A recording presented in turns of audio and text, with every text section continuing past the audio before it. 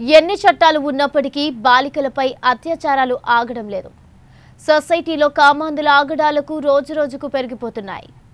ఆరేళ్ళ పాపపై ఓ కామాంధుడు అత్యాచారం చేసిన ఘటన చిత్తూరు జిల్లా పలమనేరు రాయలపేట గ్రామం తాయరమ్మ కాలనీలో చోటు చేసుకుంది. మహేష్ అనే కామాంధుడు తన ఇంటి పక్కన ఉన్న ఆరేళ్ళ బాలికను మాయమాటలు చెప్పి ఎత్తుకుపోయి అత్యాచారం చేశాడు. నిందితుడిని గంగవరం పోలీసులు అదుపులోకి తీసుకుని అరెస్ట్ చేశారు. బాలికను పలమనేరు చికిత్స నిమిత్తం ప్రభుత్వ ఆసుపత్రికి తరలించారు.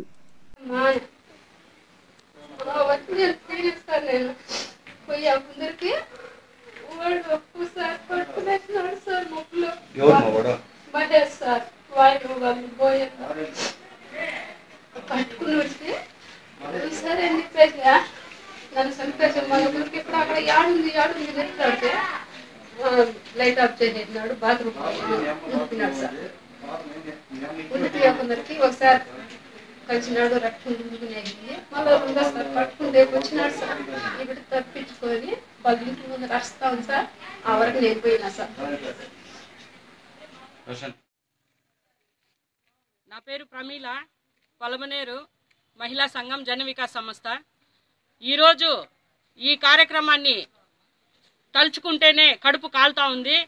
అయితే ప్రపంచంలో ప్రతి ఒక్క ఊర్లోనూ ప్రతి గ్రామంలోనూ ప్రతి ఇంట్లోనూ కనీసము వంట చేసుకుంటే కూడా సేఫ్టీ లేని పరిస్థితి వస్తుంది. అయితే పెద్ద పంజాని మండలం రాయలపేట. కనీసం అనుకున్న ఆరు సంవత్సరాల ఆడపిల్ల చిరునవ్వుతో అందరితో ఆడుకుండే ఆడపిల్లని వాడికి మనసు ఎలా వచ్చిందో రమేష్ అనే అతను కార్పెంటర్. మహేష్ అనే అతను కార్పెంటర్ పని వర్క్ చేస్తాడు. ఇరవై ఆరు సంవత్సరాలు వాడి వయసు. అయితే నేను ఒకటే చెప్పదలుచుకున్నా ప్రతి మగాడు చూసే చూపుని మొదట కానీ మార్చుకుంటే నీ ఇంట్లో నీ తల్లి నీ పెళ్ళం నీ చెల్లి నీ కూతురు ఇలాంటి వాళ్ళని అందరినీ కూడా నువ్వు అదే చూపుతో చూడాలి. అయితే బయట పిల్లల్ని మాత్రం ఆ విధంగా చూడడానికి నీకు మనసు ఎట్లా వచ్చింది? కనీసం అనుకుంటే నా ముందు వదిలితే వాడిని ఏం చేయాలంటే స్పాట్ల స్పందన. వేరే శిక్ష వానికి అవసరం లేదు. దిశ చట్టం ఆ చట్టం ఈ చట్టం రకరకాల చట్టాలు పెట్టారు. అమలు పెట్టారా? లేదు. అయితే ఈ ఒక విషయాన్ని అతన్ని పట్టుకోవడం జరిగింది. పోలీసుల సహా సహకారంతో అతన్ని అరెస్ట్ చేశారు. అయితే ఇతన్ని ఎట్టి పరిస్థితిలోనూ వదిలే పరిస్థితి చేయకూడదు. ఇలాంటి వాళ్ళకి ఉరి శిక్ష ఖచ్చితంగా వేయాలి. అయితే ప్రతి ఒక్కరూ కూడా ప్రతి మహిళ ప్రతి బాలిక ప్రతి తల్లి ప్రతి వృద్ధురాలు ఎవరికి కూడా సేఫ్టీ లేనప్పుడు ఈ ప్రపంచంలో మహిళ మహిళలు డెవలప్ అవ్వాలి. సాధికారత అవి ఇవి ఎందుకయ్యా నోరు కొట్టుకుండేది? అయితే ప్రతిరోజు రెండు రోజులకు ఒకసారి మూడు రోజులకు ఒకసారి ప్రతిరోజు చూస్తే ప్రతి ఏదో ఒక మీడియాలో ఏదో ఒక పేపర్లో ఇలాంటి అత్యాచారాలు జరుగుతుంది.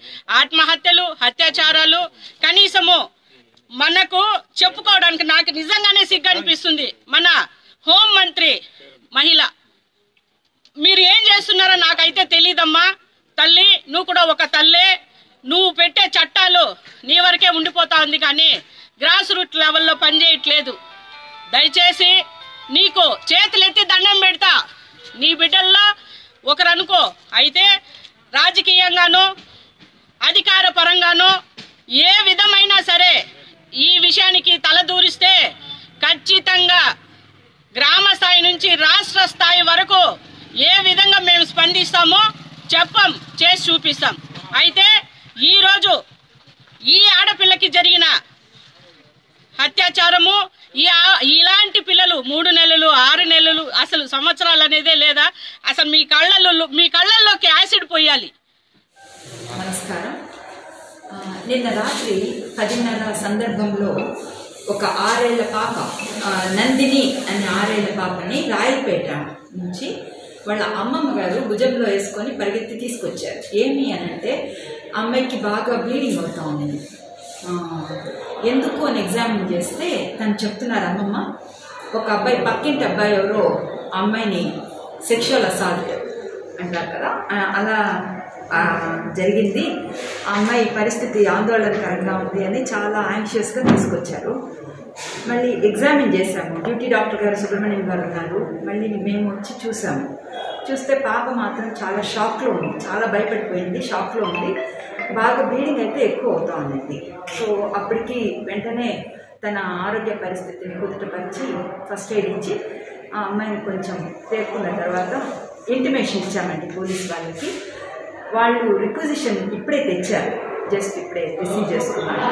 ఇంకా అమ్మాయిని పరీక్ష చేసి జరిగింది ఏంటి అని ఎగ్జామిన్ చేస్తే తెలుస్తుందండి. ఇలాంటి అరాచకాలు మాత్రము మనం తప్పకుండా తీవ్రంగా ఖండించాలని అందరినీ కోరుకుంటూ ఆ, ఇలాంటివి మళ్ళీ మళ్ళీ పునరావృతం కాకుండా జాగ్రత్త పెద్దపంది మండలం రాజపేట గ్రామం మాది. నేను మేస్త్రి పని చేస్తాను. నా కూతురు ఆరేళ్ళు నేను మేస్త్రి పనికి వేరే తోటి వెళ్ళినాను.